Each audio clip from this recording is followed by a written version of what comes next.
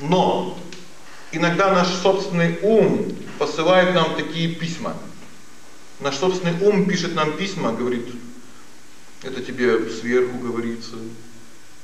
Это тебе марсиане говорят. Все столько контактируют. Все они так со всеми контактируют, что даже страшно становится. Вы так поконтактируете, чтобы курить можно было бросить, понимаете? Или пить. Но столько всякой информации. Я говорю, где же эта информация, как курить бросить? Расскажите хотя бы это. Спросите у них, как, как всему миру бросить курить? Вся им слава инопланетянам. Понимаете? Пусть живут и здравствуют на Марсе, на Юпитере, где хотят. Пусть дадут. Но они рассказывают абсолютно бесполезную информацию, как тарелки, что кому это надо все. Никому это не надо. Расскажи что-то полезное. Что-то полезное, действительно приемлемое. Как разум нашим руководителям внушить, чтобы они глупости перестали совершать. Как сделать, чтобы семьи не, не распадались, чтобы дети наркотики перестали принимать. Что-то полезное. Пусть хотя бы кто-то один из этих инопланетян что-то одно полезное скажет. Как терроризм остановить. Да, что простое. Раз вы действительно с, с такими разумными общаетесь, действительно, и это, и это не ваши сумасшедшие галлюцинации изначально, так спросите, что им жалко. Поэтому ну, в основном это все бред изначально. Ничего полезного в этом нет. Абсолютно ничего. Абсолютный бред. Если вы с этим сталкивались, стопроцентный бред. Можете хоть тонну прочитать этой макулатуры контактной.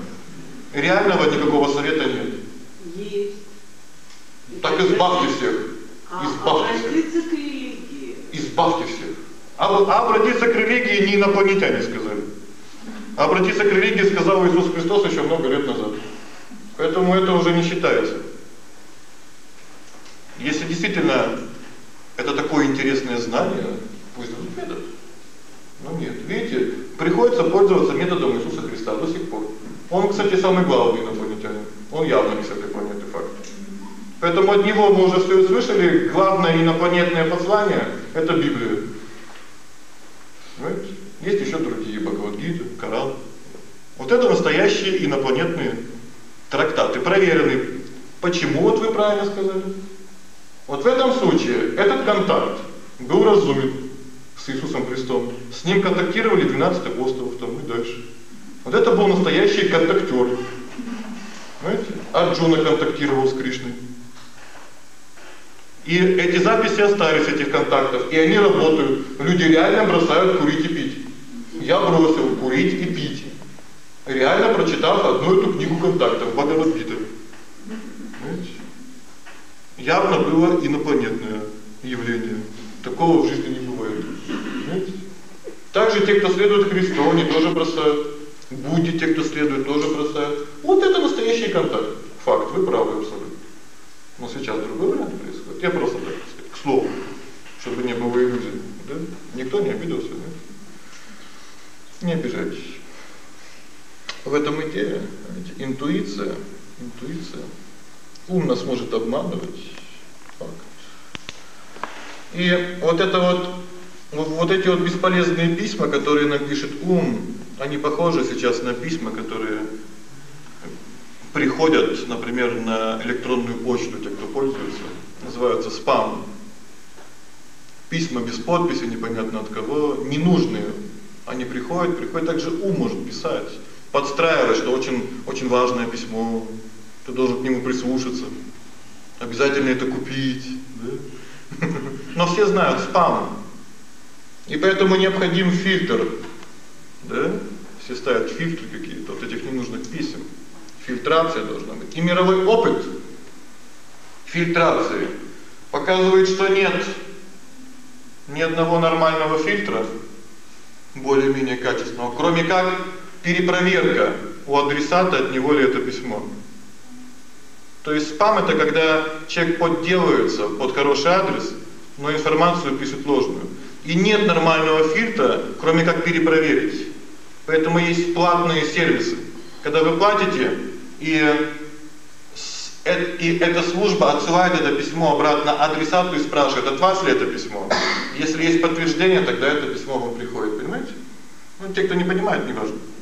Я сам принцип объясню, как это сейчас действует. И поэтому мы действуем так же. Если письмо какое-то пришло от интуиции, то мы это должны перепроверить. От Бога ли это вообще пришло? Как? Найти подтверждение священных трактатах. Видите? Или у тех, кто разбирается в священных трактатах. Если мы подтверждения в жизни не нашли у источника, нельзя верить своей интуиции. Потому что, может быть, кто-то подстроился под адресом, но, может быть, нет, нет, не от Иисуса Христа пришло. Не все, что к нам приходит, это от Бога. Не все. Совсем не все. Поэтому нужно перепроверить. Перепроверить. Очень просто. Очень просто. Поэтому доверяйте проверенной интуиции. Пришло очень хорошо, проверьте, если совпадает, замечательно. Пользуйтесь. Не совпадает, извините, фильтр. Фильтр очень просто. Да? Так интересно. Чуть-чуть еще осталось. И к концу 20 века психология пришла к удивительному выводу, который кажется на первый взгляд абсурдным, но теперь он нам понятен. Она говорит, логики не существует, мы все интуитивны. Мы все интуитивны, а логику мы используем для того, чтобы убедить себя в правильности интерпретации своих интуитивных ощущений. Понимаете? И это факт. Это факт. Понимаете? Так интересно. Также есть еще желающая функция в нашем тонком теле. Мы желаем чего-то. И это зависит от свободы воли. И вопрос, чья свобода воли? Если мы желаем на основе своей свободы воли, то такая деятельность приносит карму, проблемы. Понимаете? Если наша деятельность основана на истине, то это избавляет нас от кармы. Вот очень просто. На чем основана деятельность? На наших желаниях или на истине? Если мы знаем истину, мы знаем, как действовать, и тогда мы избавляемся от кармы. Очень просто. Я сейчас простые вещи говорю. Такой пример приводится, такой очень веселый. Наше сознание в этом случае иногда сравнивается со сливным бачком. Веселый пример. Как он действует? Сначала он хочет наполниться, а потом он хочет опустошиться. Сначала хочет, а потом опять хочет наполниться, и потом опять хочет опустошиться. Опять наполниться, опять опустошиться. Так мы действуем на основе своих желаний и превращаемся в такой аппарат. Туда-сюда, туда-сюда. Например, так действует наш желудок. Ой, как я голоден, как я голоден, как я голоден. Ой, что-то я так много съел. Что я так много... Ой, я опять так голоден. Ой, что-то я опять переел. Замечали, да? Туда-сюда, туда-сюда. Нет контроля. Действуем, на... Действуем просто на основе своих чувств. Поэтому превращаемся в такую сточную машину. Туда-сюда. По-другому это называется маниакально-депрессивный психоз. Понимаете? То очень, очень, очень хочется, очень хочется, получил, ой, что такая гадость, что-то я столько денег за это отдал. А вот другое, другое, другое, это, это, это, это. Ну, что-то опять что-то не подходит. Маниакально-депрессивный психоз. Маниакально-депрессивный психоз. Знаком? Знаком. И так с каждой вещью, что бы вы ни купили, сначала радость великая, пока еще деньги не заплатили. Вот пока платите, радость еще есть. Когда деньги уже в кассу ложат, чек выдают, уже лицо у продавца сереет, улыбка пропадает, вам уже бросают товар, вы уже чувствуете, что-то уже не, не, не, не то. Быстрее бежите домой, чтобы проверить, дома понимаете, что да, надо было покупать другое. И так постоянно. В жизни вы с этим сталкиваетесь. Поэтому наша задача выйти из-под влияния этого психоза. Все находятся в этом состоянии, все. Психологи говорят очень скромно, 80%. Я считаю, что все 100. Все находятся в этом состоянии. Все это чувствовали в магазине, этот эффект? Все чувствовали факт. Он, он у всех появляется, есть такое состояние. Поэтому, когда мы поступаем истинно, так как это нравится истине, наши чувства постоянно наполняются и никогда не опустошаются. В этом разница. Если мы действуем истинно, у нас постоянное наполнение идет, и никогда опустошение не происходит. Вот это интересно. Вот это интересно. Факт, всем такого хочется, чтобы любовь постоянно увеличивалась, росла и никогда не уменьшалась. Да? Но когда мы действуем на основе своих чувств, когда мы создаем семью на основе своих чувств, то все это тянется месяц всего. Да, так хорошо, такая эйфория месяц. А потом, у, что-то говорила мне мама, да? А он такой же, даже хуже. Знала бы я раньше, сразу бы убил. Так это происходит. Маниакальный депрессивный психоз. И последнее это чувствующая функция ума, чувствующая функция. Это эмоциональная составляющая нашего тонкого тела. Есть два вида эмоций: позитивные и негативные. Это, конечно, большая тема, сейчас просто коротко я в конце расскажу. Позитивные эмоции это любовь к истине. Это позитивные эмоции. Любовь к истине, стремление к истине, позитивные эмоции, очень позитивные. Благожелательность ко всем это позитивная функция мышления. Хорошая, позитивная. Желание нести всем знания истине тоже позитивное. И радостность. Радостность это позитивная функция. Примерно мы сейчас перечислили, да? Чтобы вы знали. И эмоции это стрелки на приборах, которые показывают, что происходит в нашем тонком теле. Показывают, что происходит. Разные стрелки. Если эмоции негативные, значит в остальных двух отделах ума есть проблемы. Если эмоции негативные, значит он думает о плохом и желает плохое. Если эмоции негативные, значит он уже думает о плохом и желает плохое. Мы догадываемся, что в основном теле происходит. Факт.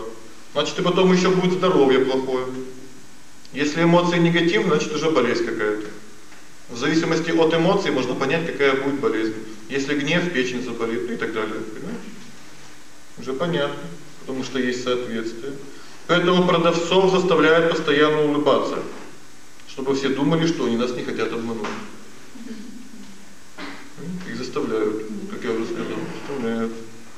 Но как только вы купили, он перестает улыбаться. Ага. Купил. Купил. Понимаете, очень просто.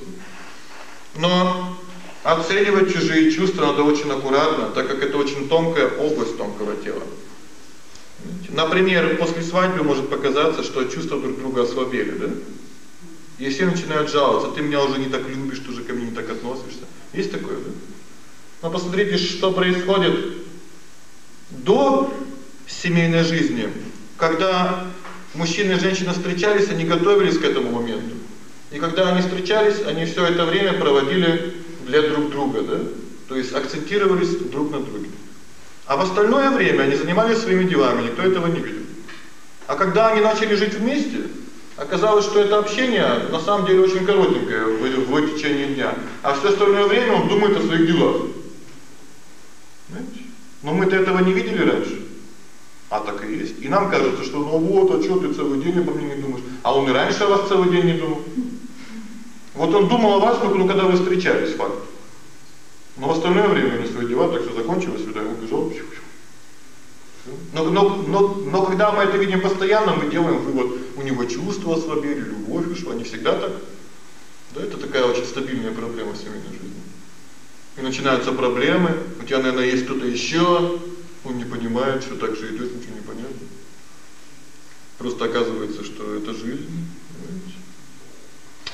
И так как эмоции контролируют тонкое тело человека и физическое тело человека, мы должны сочетать принципы самоосознания, принципы духовного развития с этим главным принципом брейнбилдинга. И это выражается в формуле необходимо следовать какому-то процессу духовного развития и одновременно быть в счастливом настроении. Понимаете? Следовать какому-то принципу духовного развития необходимо в счастливом настроении. Вот тогда все будет хорошо. Если мы будем чему-то следовать в негативном настроении, ладно, посижу сегодня на лекции. Ну расскажите мне что-нибудь. Расскажите. В этом негативном настроении пользы никакой не будет. Это не это не развитие. Нет, нужно сочетать с позитивным настроением. Нет хорошего настроения, лучше не приходите. Лучше дома поешьте картошки жареной. Очень хорошо помогает. Все будет хорошо. Тортик себе купите. Нет. То есть саморазвитие нужно сочетать с позитивными эмоциями. Следуйте духовной практике, будьте счастливы. И будьте счастливы. Не и станете счастливы, а и будьте счастливы. Понимаете? Кто понимает, почему И будьте, одновременно будьте, а не и станете счастливы. Понимаете? И будьте одновременно. И тогда процесс заработает. А когда мы следуем духовной практике и несчастны одновременно, и ждем, что мы потом станем счастливыми, тогда ничего не работаем, только разочаровываемся. Понимаете? Поэтому слушайте лекцию в счастливом настроении. Пропало настроение, идите погуляйте, походите. Повысить настроение, придите, еще послушайте. Это нормально, я не обижусь. Ну, это сам принцип. Очень просто. Так, времечко заканчивается. Вопросики какие-то есть, пожалуйста.